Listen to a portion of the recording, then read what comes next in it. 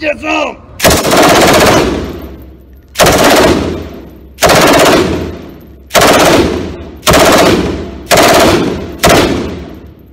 Woo!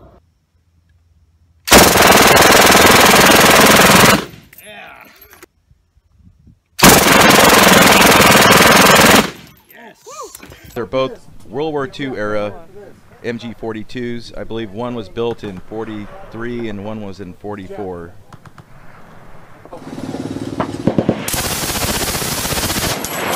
Oh, that'll be good.